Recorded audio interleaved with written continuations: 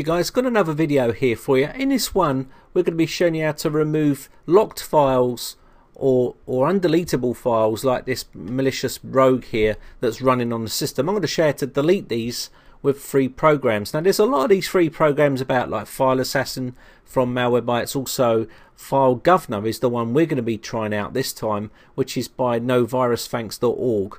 There's also Move on Boot and stuff like that. So we can see we've got an infection on here and I want to remove this uh, on reboot. So what we're going to do is have a look at our program.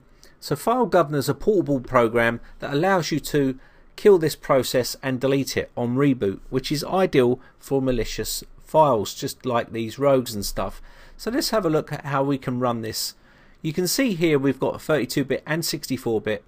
First off, I'm going to go to folder and search options here, view, and show hidden files and folders and drives. Also take the tick out of hide extensions. Now once we've done that, I'm going to try to click on uh, file governor underscore times 86 that's the 32-bit version. Now sometimes it will stop it it will block it. But if it does then you need to rename this file. But first off let's try and see if we can get away with it. Well we can. That's good so now we've got this open as you can see here it gives you access to all these areas task manager registry editor system restore and so on so with that said, we can actually run some of these here. We can't do it at the moment because the actual program is blocking them. Okay, as you can see here, it shuts them down. But what we can do is use the actual delete facility in it. Now it's got a force delete and it's also got a reboot delete file. So we're going to do that or you can rename the file. So let's do a reboot delete file. It's going to ask for the location. Now the location for this is on this icon here. I know where it is. I'm going to go to properties here and as you can see we know it is in the program data file uh, so we can see this file here what we're going to do is browse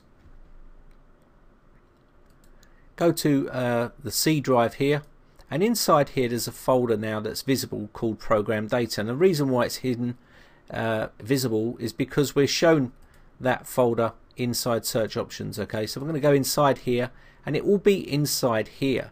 Need to go in here and there you can see the culprit. Now the reason why I've showed the extensions is so I can see the .exe file extension and that's the one we want to kill.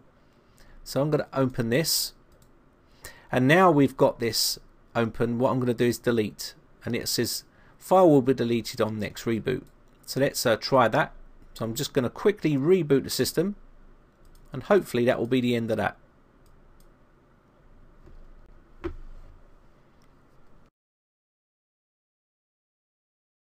So we'll let this reboot now and see if we can uh, remove this virus.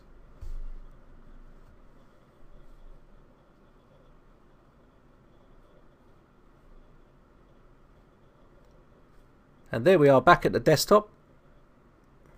The Rogue is now not running. We should have full access to our system as you can see here.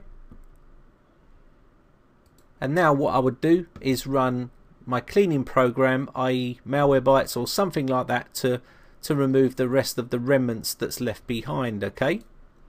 So let's try that once more with something else. We've Infected again.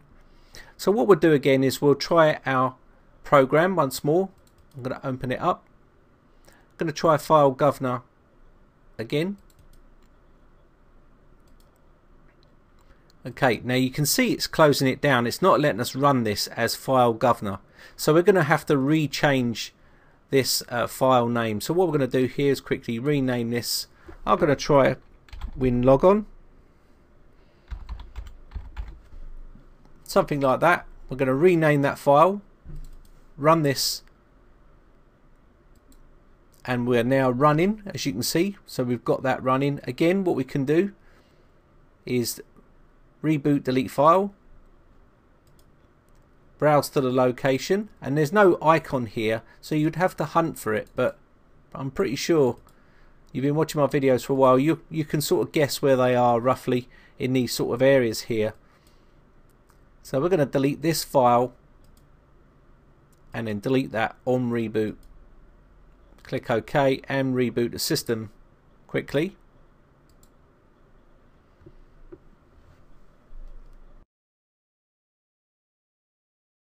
Okay, we'll let this boot back up.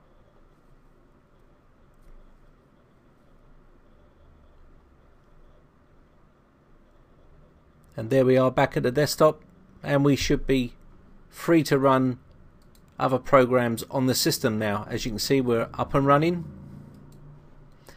And that's basically how you can delete these uh, nasty pesky rogues and other undeletable files on the system okay? You can't just delete these files. You need to use this method and you should be back up and running in no time. Now there's many different ways of skinning a cat but this is just one way okay? So I just thought I'd show you another little way of doing this and I hope it helps you out so my name is Brian from briteccomputers.co.uk. if you enjoy these videos hit that subscribe button that will keep you up to date with all my latest videos and also hit the like button guys it really does help me out and I'll see you again in the next video. So thanks again for watching guys and thanks for your support. Have a great weekend. Bye for now.